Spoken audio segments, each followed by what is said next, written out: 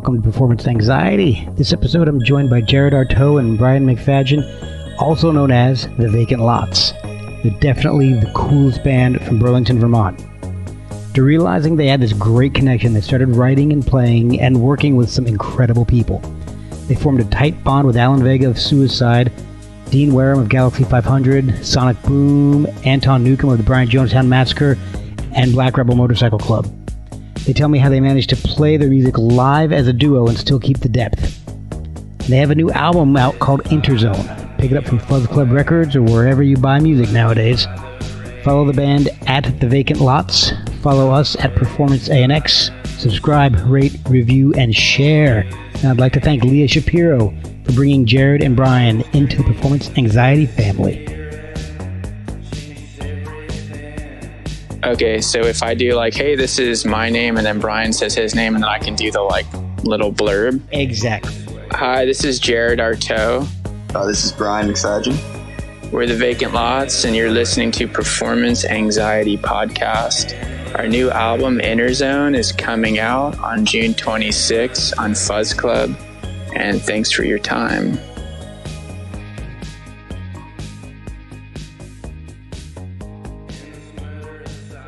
Uh, Brian, when you called a second ago, I, I hadn't started recording yet, and I'm just so used to doing this. I started speaking into my mic. Oh yeah. oh, I'm like, like, hey, can we do this on audio? Yes, I can. it's, uh, I, you know, it's one of the weird things about doing this show is, as soon as I'm sitting here, I'm talking to my mic in, in, totally. immediately, and it's just it's just a habit at this point. Yeah, that's cool. So, thank you guys for doing this, man. This is awesome. I'm, I've really been enjoying the, the music for a while now. Oh, thanks, man. Thanks for having us. Oh, my pleasure. So before we, we really get into the to the meat of the vacant lots, I do want to publicly thank Leah Shapiro of Black Rebel Motorcycle Club for getting this together. She reached out one day and said, "You have to get these guys on the show," and I said, Awesome. Okay. Awesome. Yeah. Thanks, Leah. They're they're incredible, man. Um, I'm glad she was able to hook this up for us. Me too. I I love I love the band. I've loved the band since the very first album, but Leah is just she's just the sweetest person on the planet. Yeah, she really is. Definitely. Yeah, super cool. anyway, so, so now you guys, uh, all right. So we got Jared and Brian. You guys are the band. So yeah, I want to know a little bit more about how you got into music in the first place. Um, were you playing in bands as, as as teenagers? Were you playing band, you know, in, in high school marching band? What and, and what were your instruments? Uh, and, and, Brian, I've noticed one thing in the research. Mm-hmm. You're very quiet. You haven't said a lot in the in in the interviews that I've seen and read, and so I'm going to make yeah. sure I get some answers from you. yeah, I tend to talk a lot. Don't let me hide in the corner. All right, Brian's got Brian's gotten used to it. Um, so, all right, so let's start with with with Jared. Now that uh, I said I want I want answers from Brian, we're going to start with Jared. I'm just going to start talking the whole time. Um, so, how did, what was your first instrument? When did you start playing? What was it? I remember, like, I think back in elementary school, they, I think you had to choose an instrument. Like, it, it was some, like, a, you could choose from, like, a fucking flute or a clarinet or yeah, a like, violin and I remember like every time, like you had to get your parents' permission, and every time I like went home to like pitch it to my parents, like I, I want to do clarinet or violin. I just remember the response being like, "No." Probably just them. They knew what they were in for. yeah, like sax. I think saxophone was the first, and my mom and dad were like, "Fucking no way." um, but then I remember hearing like drums or drum, and, and I got really excited because I thought it was going to be like a whole drum kit, but they just gave you like a fucking snare drum. Oh, jeez. And I remember playing it for a little bit and then just getting really bored. And then fast forward to about like 16 or 17. Um, I was doing like sports up until that point. You know, I was an athlete, like running and basketball. And then when I was about like 16 or 17, there was just this like crucial moment that stopped me in my tracks. I remember watching on TV, it was like VH1. It was like a, the hundred greatest blank of all time. Oh and yeah, I remember those. Do you remember that? It was yeah. like greatest rock bands and then soul bands, and then they had one on punk. And Iggy and the Stooges popped on, and uh. it just like fucking changed my life. I mean, from that moment on, I was just all in. And then I didn't really start picking up with guitar until I was about 18 um, and had like one band in high school.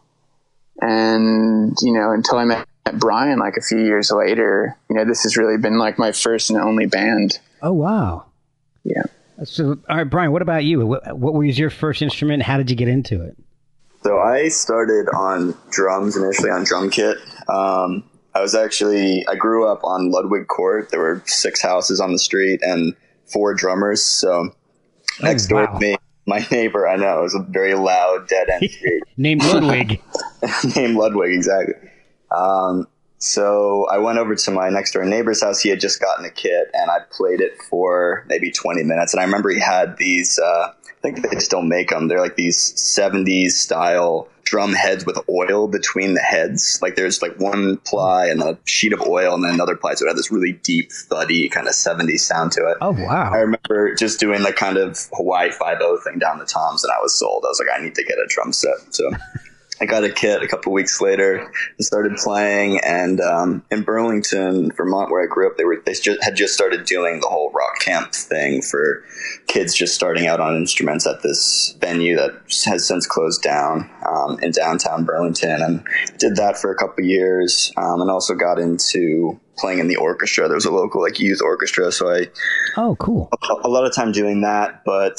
Um, I don't know, it reached a point where they, they were kind of graduated levels of, um, d- depending on how experienced you were as the ages progressed, it would go up and up to the point where it was the final orchestra. Um, and that was where we were playing like full on orchestral pieces. And I started to realize pretty quickly that once you get past those first few stages of trying to give everyone, it's almost like playing on like a little little kid soccer team where everyone gets equal time and it's all about having fun and everything else. yeah. And then you get to the, the, final level, and if you're the percussionist in an actual orchestra, 90% of the time you're waiting 400 measures through nine different time signatures to hit one triangle hit. Mess it up. You're like the biggest fucking idiot ever.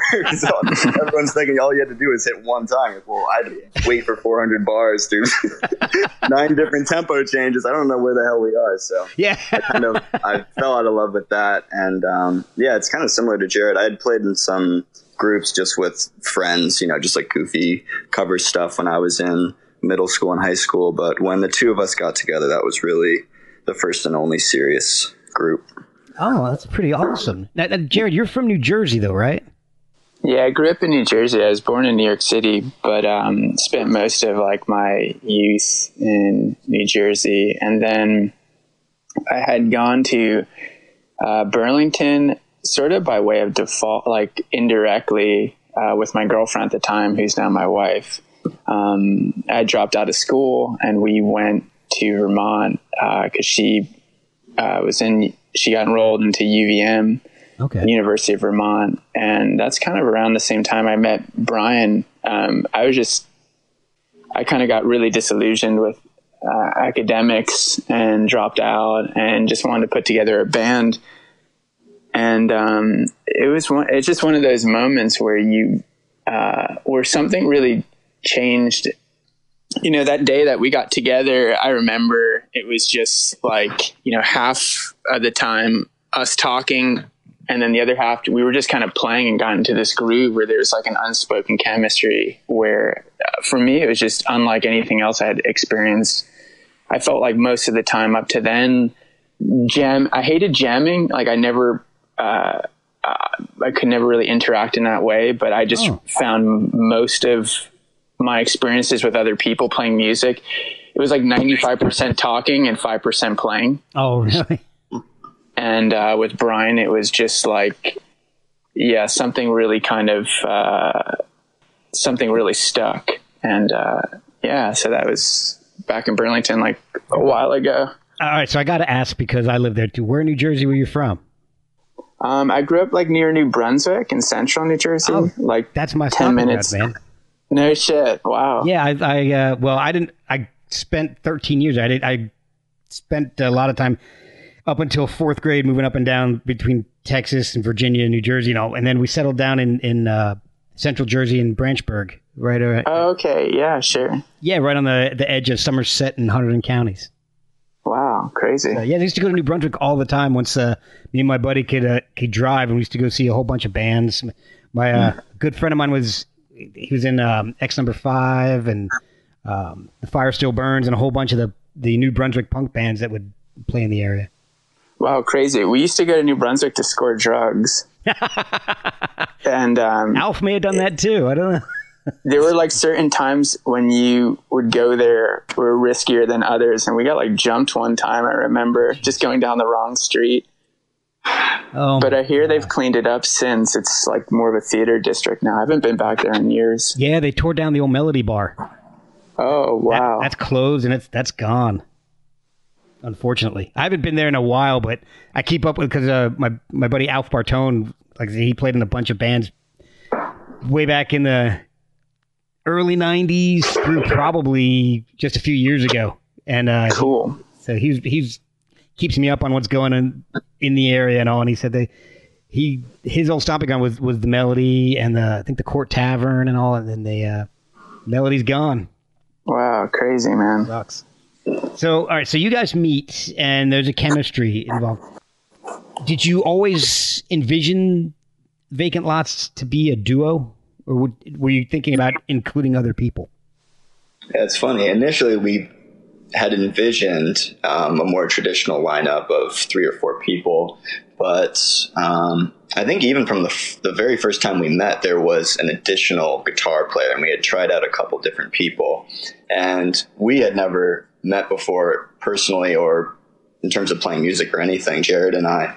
But even from the very first time that we played, it had, it felt, had this impression of it was the two of us, and then there was some other random person who we were trying to figure out if that would fit or not. Oh wow! We went we went through that cycle with a few different people and had this mindset that you know we ought to have a third person and then it, it started to just feel like this formality that we were doing because it felt like that was the traditional setup and soon enough we realized that it really worked best with just the two of us so we kept that configuration ever since after only maybe a few months of meeting I think the origins too, yeah, like going on what Brian was saying, uh, like bands that we were, I guess, modeling ourselves off of, like the Rolling Stones or the Velvet Underground or Television, where it was like two guitars, bass, and drums, hmm you know, with the exception of the Stones. Um, in that scenario, but you know, and we, you know, for me, like I've I've always thought of the guitar as like you know what Verlaine and Lloyd were doing in terms of rhythm and lead guitar, and it was interchangeable and interlocking, and there's like you know it's very like a geometry almost Yeah. of music playing, Oh yeah, yeah, yeah. and uh, and then a rhythm section, you know, because Brian's an incredible drummer, so to have someone who was you know playing bass that could just hold down this you know uh, you know kind of like the repetition and the rhythm section, but it just never panned out every time. Well, I mean, and also just by the nature of the tours we were doing, the band started to evolve. Like Brian was standing up playing drums, like Bobby Gillespie, Moe Tucker style. Yeah, yeah. And uh, when we toured, our first ever tour in like 2010 was with Sonic Boom, uh, his band Spectrum.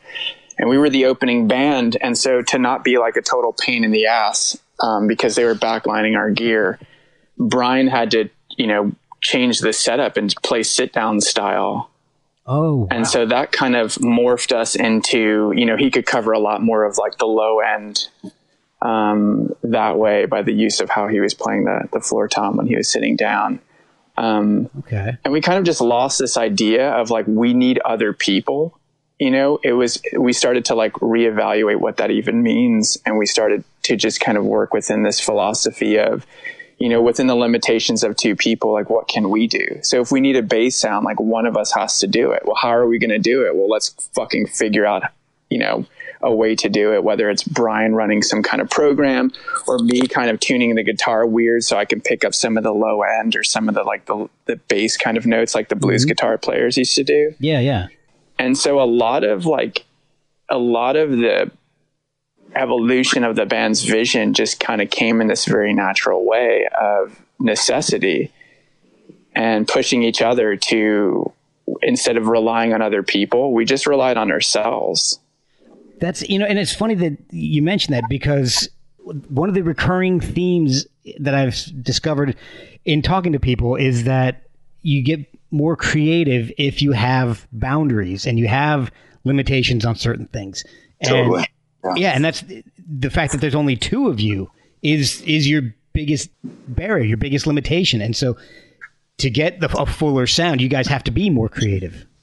And it's true. I mean, also like the the paradox is through limitations, it actually can be quite liberating. Yes, exactly. You know, like with anything in life, the few, you know you can make the most out of the fewest components. And I think for us, that's just kind of been like our our mission almost is like minimal means maximum effect. Yes. You know, which is you know we haven't like invented that. I mean that like the less is more theory goes back to like, you know, the Stooges and suicide and the Velvet Underground. But even like 50s recording, I mean, you hear stories where it's like a four track recorder. You're limited to this amount and these are your, you know, your structures to work within. Exactly, exactly. And so it forces you to be more creative. So Totally. And, and and the thing that I like too is that in being creative, you guys have really found a unique voice because I I find that a lot of bands that are a two three piece band tend to fall in a you know a, a few categories like they they tend to either play music similar to the Black Keys where it's stripped down super bluesy kind of thing, white Right. stripes kind of thing, or they just drown themselves in in effects, and it's just this you know swell of just noise, and you can't even tell what exactly what instrument is making it. But you guys Right. managed to avoid doing both of those. I think early on, um, you know, the two things that we were really aware of as we were developing um, our style was just we wanted our own sound, but we didn't feel like we were interested in reinventing the wheel because we felt part of this like lineage of rock and roll. So it was sort of like, how do you pay homage to, or how do you recognize where you come from? But at the same time, how do you create your own sound? So there's some kind of original music where you can be identified through someone hears a few bars of your music and go, oh, that's the Vacant Lots, or oh, that's Jimi Hendrix, or that's Kraftwerk. So I think we were kind of doing this like parallel striving of, uh, you know, wanting to kind of uh, like keep the tradition going, so to speak, of rock and roll, Okay. but but at the same time, you know, create our own style and sound within that network. So, what is the significance to the name, the Vacant Lots? How did you guys come up with that? Um, we had uh, th- there was a time. I mean, we were like rehearsing or writing songs, and we wanted to play, so we uh, live, so and go on tour. With you know, and we realized we need to come up with a name, which I think was like the hardest fucking thing we had to do at that point. I mean, writing songs was just like, okay, you know, hit a fucking beat. Here's the guitar. co- Here are the two or three chords, and like we're off. You know, Right. maybe like the lyrics were like, you know, really challenging, but the band name was tough. I remember like writing down a list of shit, and Brian like choosing one, the one that also resonated the most with me. Um, Vacant Lots comes from the Soft Machine Okay. it's like uh, a William Burroughs book. And there was this passage that really stuck out to me where he was talking about like a rack of rusty iron and concrete set in vacant lots and rubble dotted with chemical gardens. wow. And I, I read that and I was just like, fuck, like that's it. And for me, just the duality in the name and also to, to fill a void, um, just felt like that was the right, the right name. And, and Brian loved it too. And I just think that day we were like, yeah, that's it.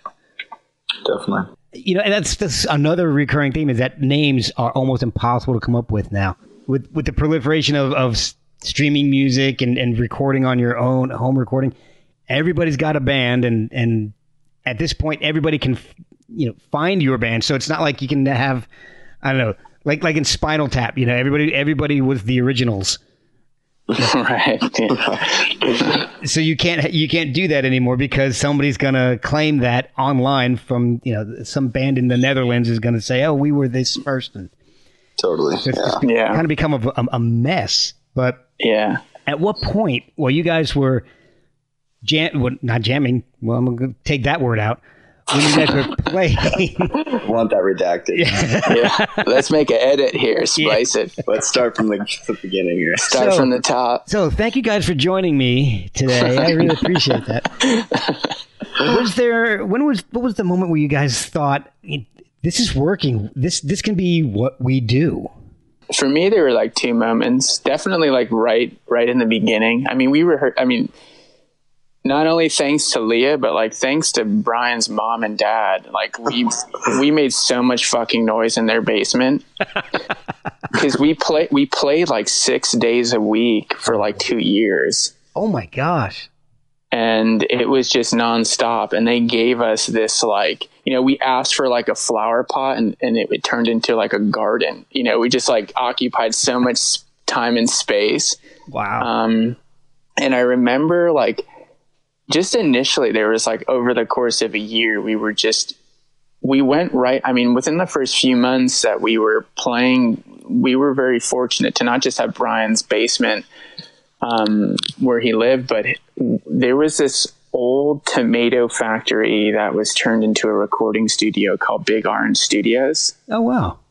And it was out in the middle of fucking nowhere. Like, uh, was it was it Vergennes, Brian? That was Yeah, it was Okay. okay. farm country. And it was just this massive, like huge barn. And we went there, and it was run by this dude, Chris Clark, uh, who used to live in Burlington. And he just kind of like it was like adult supervision. Like he just like realized that we were just like, okay, they know what they want to do. And we were just like, can you just record this for us? You know, we don't need like a producer or a mixer or any of that shit. Like we can do all that. Um, or at least we thought we could at that moment right. but we would just get really stoned and would just like record these like early like you know demos and early recordings and you know songs like our first single confusion and cadillac and high and low came from like those sessions so within the first year Wow. or so of the band we were just kind of like pressing you know ourselves to you know get into a studio and and and you know test out and experiment with ideas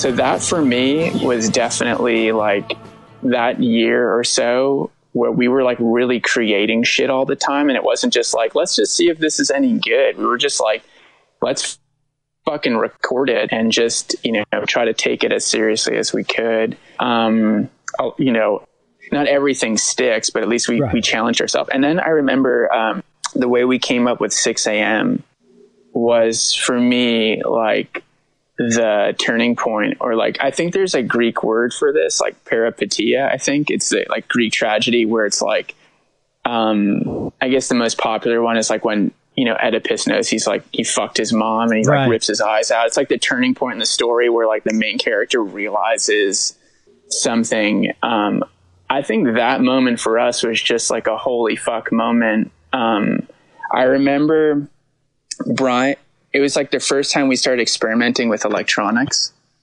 Okay.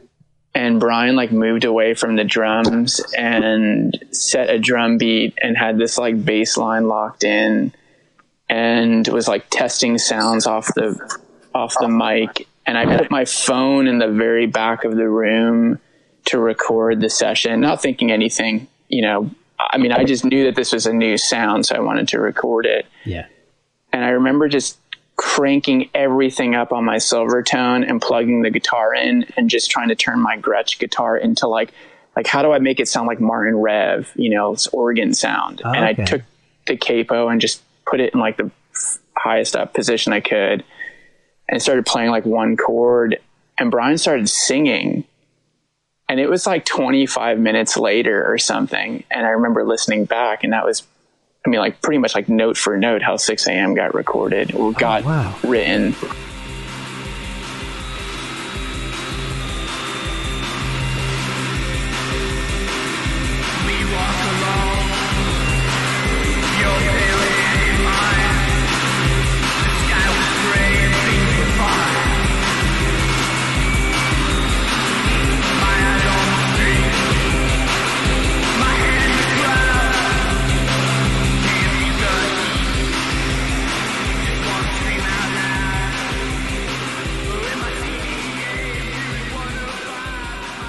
That's awesome. That that's really cool. I love stories like that. So, was it a similar moment for you, Brian, when you when it just all kind of came together and you're like, yeah, this is this is for real. Yeah, for me, it was kind of similar. Those first building blocks between um, just playing nonstop. I think six days a week is probably accurate. We were down there constantly working, and uh, Jared had songs that he had worked out already that we put through the paces of getting to a point where we could really perform them. And then we were just working on new material as well. And that process always just seemed to be, I mean, of course, um, from time to time we would hit a wall with something and need to come back to it. But I felt like in that time it was so productive and efficient in terms of creating from nothing this whole catalog of music that we were ready to bring out into the world and taking that next step into playing even just locally at clubs in Burlington and then also doing that session at Big Orange Studio just was a good affirmation of of um, of everything that we had been working for. Like it, it was all in our head at that point. And once we were able to really bring it out into the world in those two forms, it really felt like we were on something. So, what's the music scene like in, in Burlington? Because your style of music, like like, like that psych, new wavy kind of music. Yeah. that's not what I think of when I. It's not the first thing that comes to mind. I should say when I think of Vermont. You know, Yeah. like lumberjack music or something. yeah, it's a lot of like jam music. Like Phish is obviously from there, so it's a lot of like Grateful Dead, um, weekly, whatever cover Yeah. night downtown, and bluegrass and stuff like that.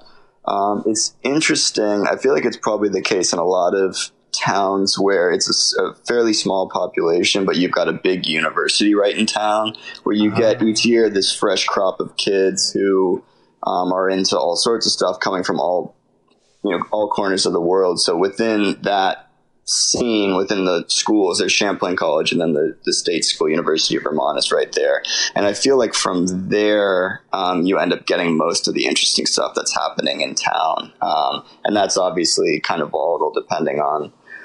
Uh, the year really because with Vermont it's like once you're done with school there's really not a huge incentive to stay but in that four year period you could have all sorts of cool things happening and, and people branching out from there. And also with the scene that small, it really came down to just having good promoters. Um, there was a group called, they called themselves Tick Tick that I think they eventually moved to Maine, but for a period when we were first starting to play, they would organize a lot of shows. And they just had a really good sense of, um, you know, just had their finger on the pulse in terms of music that was happening at the time and, and getting pretty big bands at the time to come through. And we were able to play a lot of cool shows through them at that time. But um, as of now, I, I don't really know. I think it fluctuates a lot in Burlington.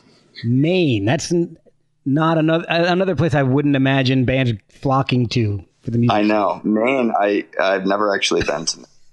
Me a bit of a either. Strange place, I think. But Yeah, you, you, the farther like northeast you go, I think the the weird, the more it becomes like you're going southeast too. yeah, It's kind of like for me, like Florida. The farther south you go in Florida, the more it becomes New York. totally. So what, all right, so what's the songwriting process like for you guys? Are you collaborating a lot, or one one one of you bringing in an idea and then just working on it to flesh it out? What's what's the process like? I think it varies from record to record. Um, I mean, we both do a lot of writing in isolation um, or individually, and then we'll. I mean, and then we'll bounce files back and forth to each other. Um, then there's songs like 6 a.m. where we're just in the room hammering out ideas. Um, or like the records we made with Anton, where there'll be fragments, and we'll spend like the week before we saw Anton in Berlin uh, to make the record Berlin or Exit EP.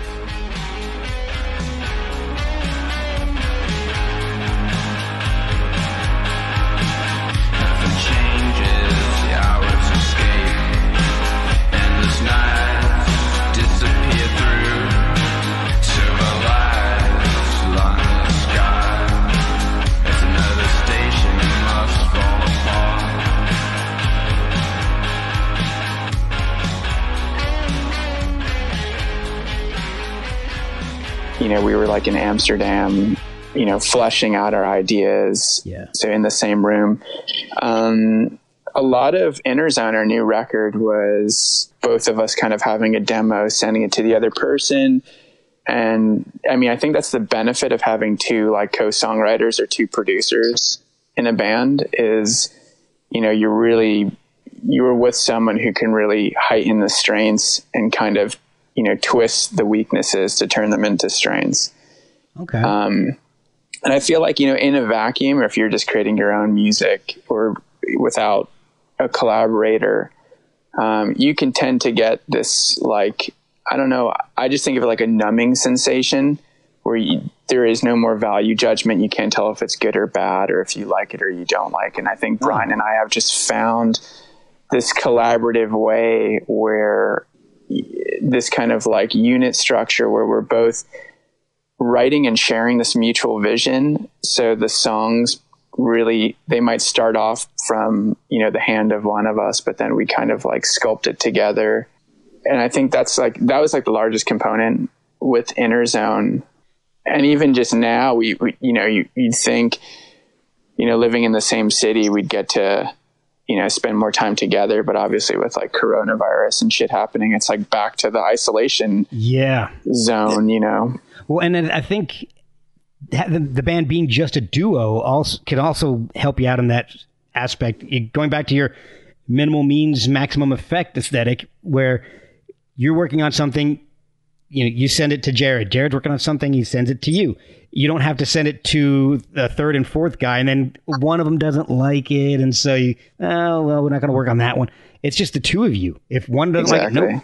We're- No, that's that's exactly right. Because as soon as you add more and more people, it just gets exponentially, you know, into that game of too many cooks in the kitchen. With 2 of us, there's already enough. Like, 'cause we're both very particular and know what we like and what we don't like, and we share a lot of the same sensibilities. So there's usually um, always room in the middle to find some happy medium. But I think with even a third person, it would make it almost impossible. And just the two of us, it's already like we have like four egos for each of us.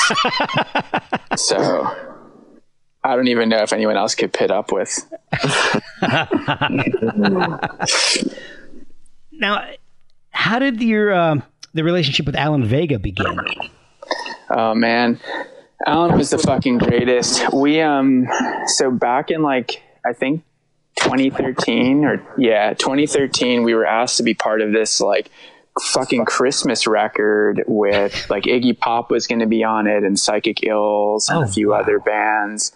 And um, we were really excited. And then it like dawned on us like we've never really done a cover song before. Like maybe I think we've covered a Sherelle song or something or like a Link Oh, Wray song live once. But um, like what the fuck Christmas song are we gonna do? And I remember me and Brian were just like digging through like obscure records and then found this record from the 80s. It was like ZE Records, like anti Phil Spector's Christmas album style record. and on that record were two tracks. It was an Alan Vega song and then a suicide song. And the Alan Vega song was No More Christmas Blues. And it's like this slow, it's like a fucking ballad on painkillers after you've like, you know, like two people in your family died and you just broke up with your girlfriend type of music. it's just super like depressing blues Christmas music.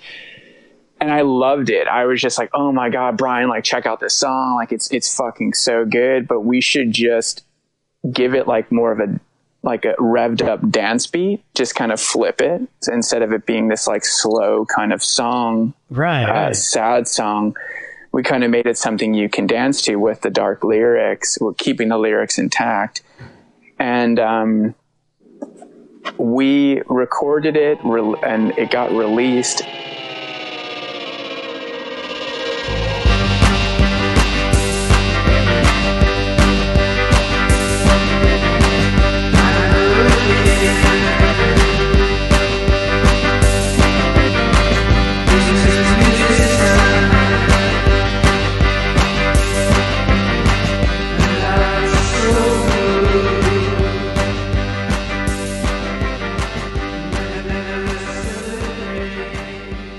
And I uh, I was friends with Alan Vega's wife, Liz Lamere, on Facebook, Okay. and had sent her a message with the song, like this, you know, my style of this like long letter of like, you know, what Alan means to us and how, you know, how much, you know, suicide, like suicide is the Beatles to us, basically. oh, cool. And, and, and the last line was like, hope we didn't butcher this track.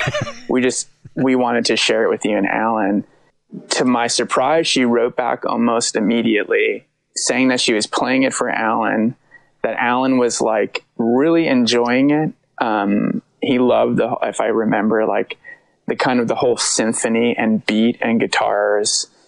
And she, and then she prefaced it with like, he really doesn't even like that much newer music. So like, you don't understand, like this is a, you know, huge thing. And for us, we were, just, you know, I was like calling Brian, like freaking out, like, holy shit, Alan Vega's, like listen to our fucking music. Like we can quit now. You know? um, and, uh, and then like we got into this dialogue and she said Alan was like, invite them over. wow. And I was like, when they're on tour, and we were like the week or two later, we were going on tour with Dean Wareham, and we were playing the Bowery Ballroom. And I was living at Boston at the time. Brian was still in Burlington. And when we came into town, like a few hours before sound check, we went over to Alan's apartment uh, downtown Manhattan, and uh, I just I remember like like kind of shaking a little bit and like sweating. I think because I thought he was going to be this like intense, vicious um, person, and he ended up being just like the coolest, nicest, uh, funniest person like I'd ever met. He like came in, he's like, "How are you doing? Are you guys okay? Like, you know, can I get you anything?" I was like, "Holy shit, he's so nice." oh, man, that's um, awesome. and that was just like a huge moment for us and that kind of just forged this friendship and mentorship i mean he was like a mentor to us i remember like one of the my favorite moments ever was going over to i lived one stop away from him across the east river The whole time? um, yeah, like Oh, wow. you can just take the two or three. I'm in Brooklyn and he's, you know, like in the financial district. So you could just take one stop over to Wall Street from where I live. And um, one of the, like a few weeks before he died, one of the last times, I think I was one of the last people to see him alive. Um, wow. before he was in the hospital. And I went over there because he was going to sing on this track, uh, the last track on our second album, Endless Night, um, which wasn't called Suicide Note yet. It was, it had a different title. I think it was like Sister Ann or some other title, working title at the time. And I went over there just to play him the track because he was going to go in the studio and record vocals and write his own lyrics for it Oh, wow. and we're sitting on like the couch and I'm playing him the song and uh which was like connected to a Bluetooth speaker from my phone, which he was totally mystified with. um, but didn't fuck with like modern technology. Like he couldn't, I, I tried to show him like Spotify and he was just like not interested, but he loved the fact that we could listen to like Albert Ayler, Pharoah Sanders or John Coltrane within like four minutes, Wow. you know, like we could just bounce around. Yeah. But anyways, we're playing the like I, I played him this track and he's, you know, looking out the window and kind of like, you know, with his like right hand clenched and kind of like coming up with lyrics.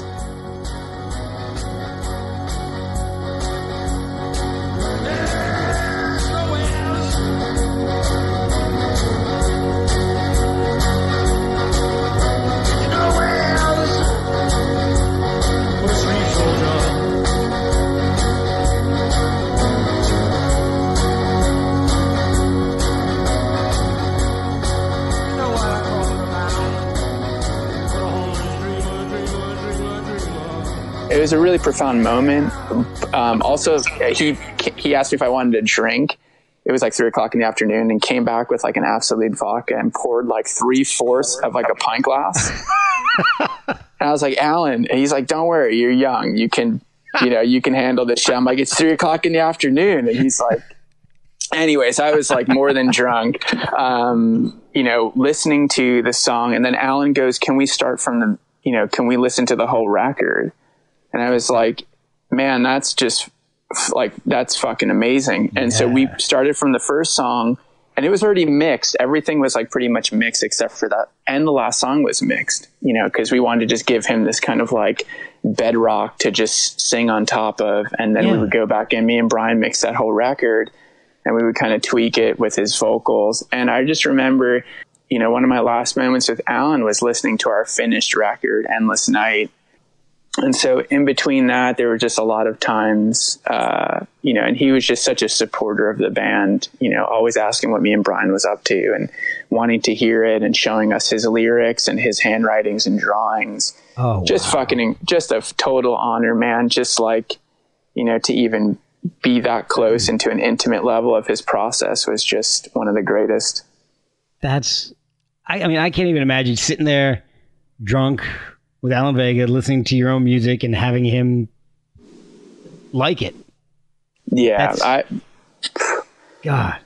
yeah it was really validating and an honor because i think you know when you're in the presence of such a legend or such a icon of of music um, there's definitely this feeling of like you know you're not even close to being equal i'm not even saying we are or even remotely but just to be appreciated that he understood that we weren't just trying to like rip off suicide that we were actually striving for our own sound but we were connected to the lineage and he got that it was just an amazing like it's like fuel you know like you're kind of um Yeah. you know I, I could imagine maybe that's something similar to like what you know maybe dylan had when he met woody guthrie where you meet your hero your musical hero and they're you know not an asshole and Yeah, exactly. Really inspiring and you know and like your music too it just that was just the greatest for me and brian you know really fueling I love hearing stories like that because, like you said, you always hear the old adage, never meet your heroes. And then yeah fortunately when you do and they're and they're decent people and they like what you're doing that's it's just there's nothing else like it Yeah, it's it's. I, I mean, I've heard that so many times, and there's definitely a fear factor involved Oh, yeah. in.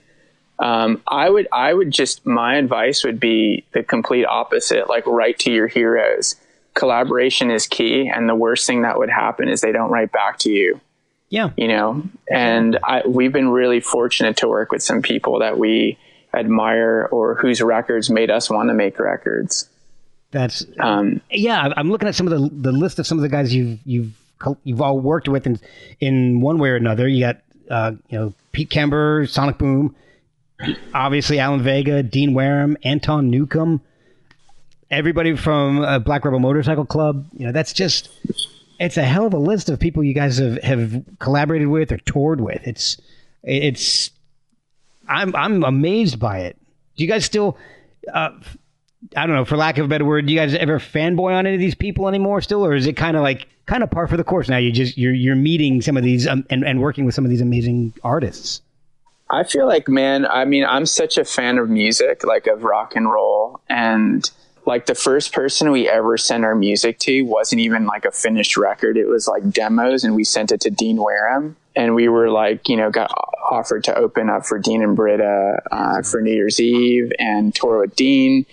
And I just, I, I think it was it's like a sort of encouragement you know like an older generation younger generation of artists. And you know dean wrote back saying like yeah he's a fan. And i just felt like that was really cool to hear because it's not just like a one-sided thing you know but Yeah. the the music and, and in a similar way like you know dean was friends with lou reed and sterling morrison.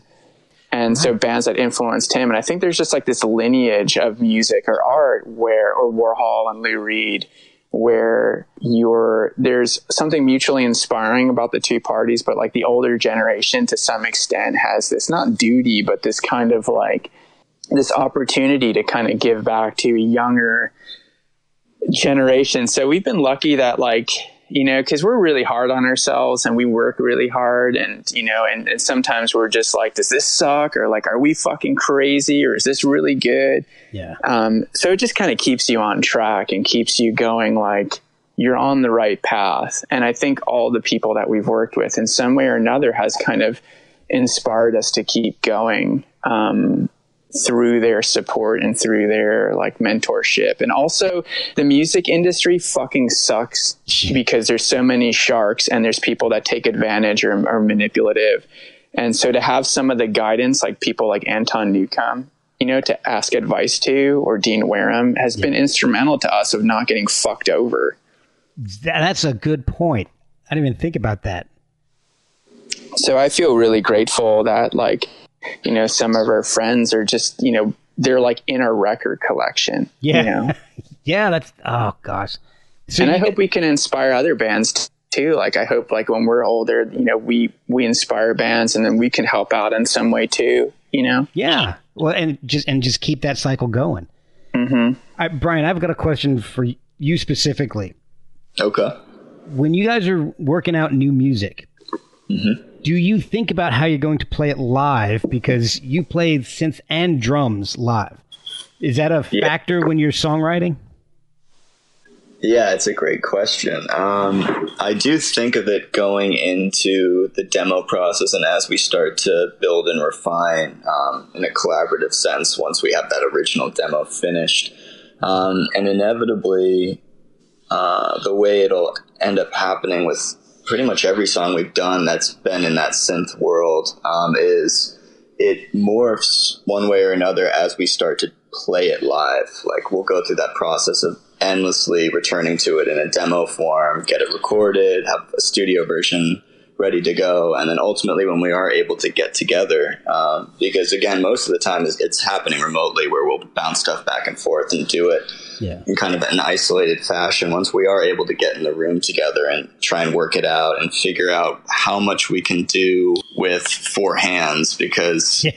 Jared will be playing guitar and I've got all these gadgets that mostly have minds of their own to some extent where I can try and teach them to know when things are supposed to happen, but they can be they're they're not always willing to obey the rules. So I try and get it to a point where they won't run off and it won't be a total disaster on stage. But there's also room to have a lot of as much of the different timbres and the, the whole palette of sound that might be on the original recording. So ultimately, um, as we start to play it live too, that's its own process of refining. We'll play it live one night, maybe realize that one part is need to change the part or change the sound or add or subtract. And Oh, at the end of it, after maybe a, a full tour of playing a new song, it almost becomes a brand new. I mean, I guess you could think of it as a remix in a way, but in a lot of ways, it'll be such a drastic shift once we're able to get it to feel right live that you could almost record it again and it's a brand new song. And I, I kind of like that process, this slow transformation that happens as we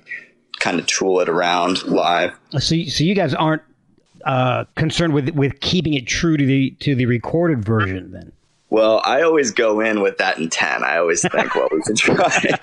For our fans are paying good money and they have the expectation of hearing the exact studio version. So let's get it down verbatim. But Ah, well, I will, I'll help you out because I'm the exact opposite. I love it when a, when a band, I, I when I see a band live, I want to see them take the recorded version and and make it, I don't know, just expand it or, or, or slightly tweak it, make it sound a little bit different. Totally. Yeah, I was gonna say I come from the ex- e- e- complete extreme where, like, you know, I love bands like Joy Division and Jesus and Mary Chain, where you hear live recordings and even Suicide, and then you hear their studio recordings. It's like, what the fuck? Yeah. So you get Exactly. two different experiences, and I feel like with us, so many times people say, "Wow, your records sound different than the live show," and my natural response is, like, we know, like the, I, I, I feel, you know, the intent when we go to make a record and the intent of when we go to play live.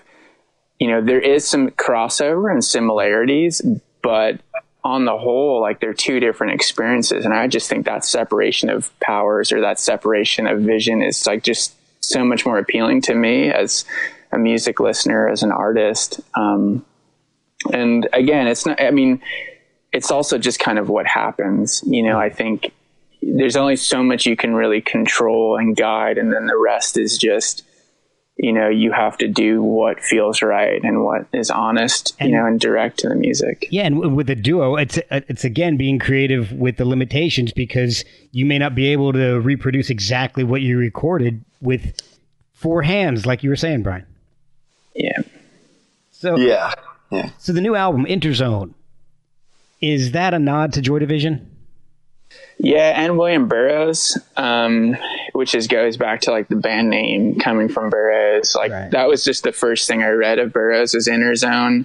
Um, it's still my favorite book of his. For us, it's you know again it's duality. You know the this kind of idea or theme that we return to a lot. Um, it's kind of strange because the first title that we had come up with for Interzone was actually going to be called Isolation. Oh wow! And again, I think that was an even more obvious Joy Division reference. Yeah. I, you know, we're aware of it. It wasn't as direct as it may. You know, it's not like we look through like Joy Division's discography and said like, let's steal that. right. You know?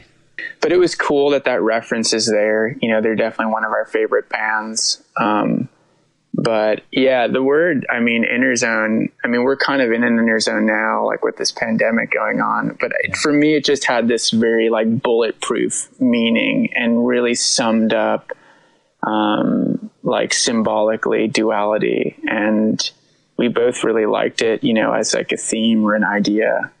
Was there a different approach to this album compared to your prior work? Did you uh, consciously try to do anything different? I think we always try to push the music forward. I think that's, you know, we're both really good about, um, you know, there's certain principles that remain the same or ideas that we love and we return to or Yeah. repeat in the music. But we're, I feel like we're really self aware about um, not just the limitations that we work within, but also uh, like the threshold of how far we could take it. For example, like Departure, we had the songs and the energy and the attitude and the like vision and this kind of like, I mean, I felt like for the you know the first couple records we made, like that was going to be it. Like, would I even be around after this? You know, if this was the last record. I mean, sometimes you hear people go like, you know, give it your you know play it's like your last game ever. Right. You know, like a basketball or something. Well, I sort of took that, but into the studio. Like, what if this is the only record or last record you ever made? Yeah. like how are you going to stand by this shit and i remember on departure we were like the best person to take it to that next level of like you know where our threshold is and then just going a little bit further with sonic boom and with this record there was this moment in the studio where we had like four or five days in between our east and west coast tour with the dandy warhols last year and my friend, uh, our friend Ted Young, who engineered all of our records, um, basically gave us the keys. He was going to be like out of town, like I think he was in, like a fucking Arkansas or somewhere. It's like or Kansas or some weird fucking some just place far away. And he's like, I'm going to be out of town, but you guys can get in there and do whatever the fuck you want. Just don't break anything Oh like wow! like like really don't break anything Yeah. because um so we got that like warning and ted's like the coolest dude ever so he gave us our key the keys to the studio we go in there and we're like uh, thinking of like how we're going to mix it and work on it and describing the sound and i was talking to brian about this like you know uh, describing the sound in a very like almost like producer kind of abstract language and Brian's like, dude, check this out. I want to play you something. And he, you know, puts on Country Girl by Boy Harsher.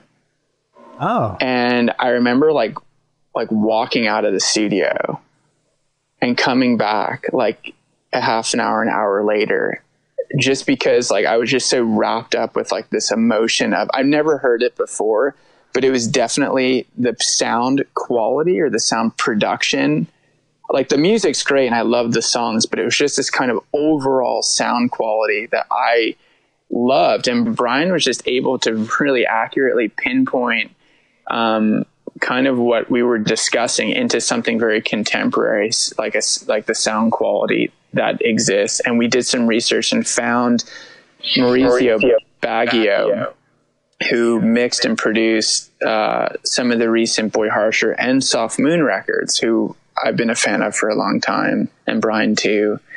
Um, and we contacted him to collaborate with mixing Interzone, and it was like an intu it was like a total intuition where you know he mixed it and now the way Interzone sounds is completely you know how we had hoped it would sound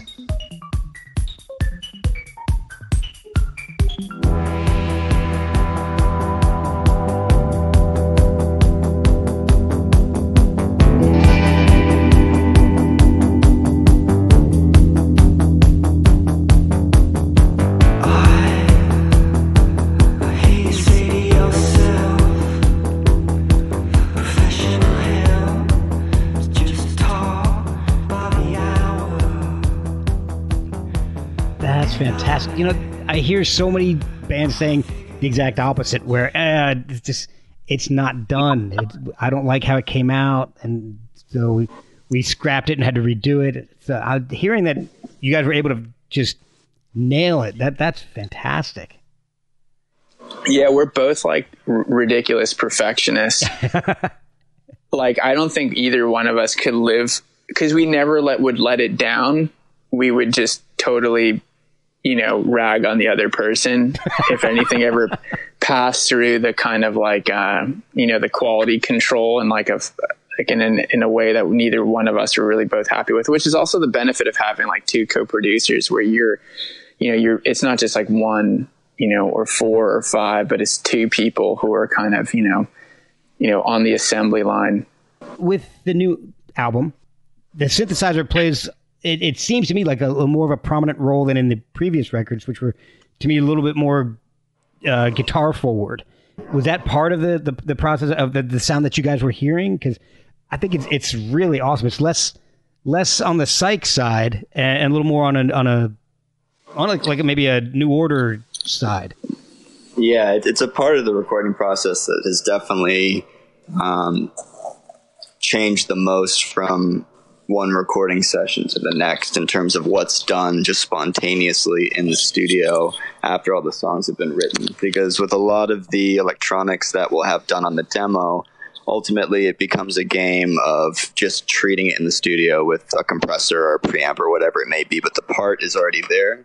Right. Um, but with each session, it seems we've been more and more prone to adding additional tracks after those bass recordings are already in the session and just experiment with various synth parts. This time around, we had an old ARP synth um, and some other just like drum machines and stuff that in, in the last phase, after pretty much everything else was done, we just threw some paint at the wall and tried to figure out what would work. And with synthesizers, it's really easy to do that because you can just sit there and move knobs around all day. And having that endless palette of options is is really interesting to me. Just letting the track run on loop and just wait until something really magical happens, and then capture just that moment. there doesn't seem to be a, a, an extended track on the album, like like "Funeral Party" or "Make the Connection," which you know, respectively, eight and ten minutes long. Mm-hmm. Was that a conscious decision to to keep everything a little more concise?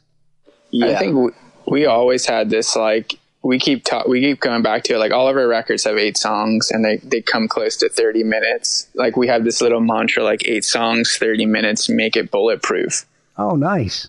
and it's kind of like this like mental tattoo.